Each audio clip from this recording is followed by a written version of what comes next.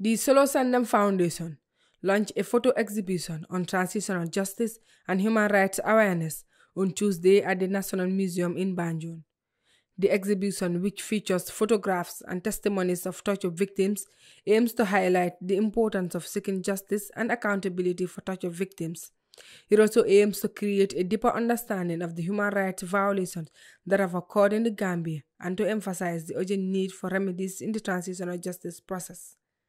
Dañ nekk di def exhibition bi nag pour highlight multidimensional effects of torture comme niñ ko explainer so basically that is saying we're doing this exhibition to highlight the multidimensional impacts of torture um, on various um, people from different and uh, diverse backgrounds.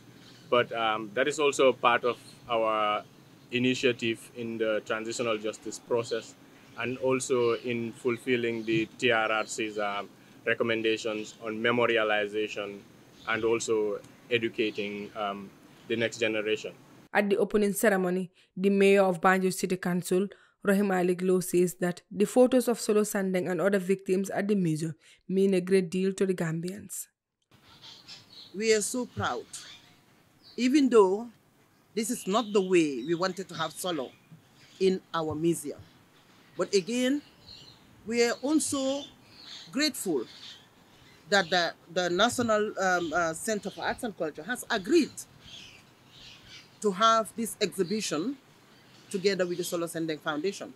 And we will all agree that the Solo Sandeng Foundation has been made, making a lot of change or impacts to the life of the victims. The Assistant Director of the National Museum, Mamad Salah says that the National Center for Arts and Culture is mandated to document and preserve the history of the Gambia. We hosted NEO in all our heritage sites to be able to you know, visualize all the portraits of, of, of these victims has, that has been affected during the 22 years of the former President Yahya, Yahya Jammeh. Mr. Salah also talks about the importance of the exhibition. The, the, visual aspect of, of, of, of, of, of these people that has been tortured by showing their pictures. And you see, um, the importance of photographs.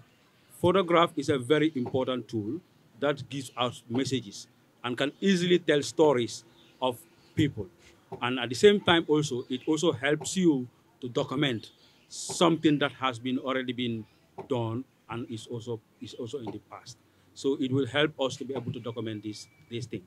And I think the photographs that are shown here, even looking at them without text, you will definitely see some of the stories that has passed through these people. The Solo Sandeng Foundation was established in the memory of Solo Sandeng, a prominent Gambian opposition figure who was arrested, tortured, and killed by the Gambia government in 2016 for leading a protest march. The foundation aims to promote democracy, human rights, and social justice in the Gambia. Solo Sandeng was arrested on the 14th of April 2016, detained and tortured at the NIA for leading a peaceful protest demanding proper electoral reforms. He died due to the severe torture meted on him. Mr. Sandeng's arrest and subsequent death in state custody prompted a nationwide movement that served as a catalyst to end the 22 years of dictatorship rule in the Gambia. reporten verkeer fatu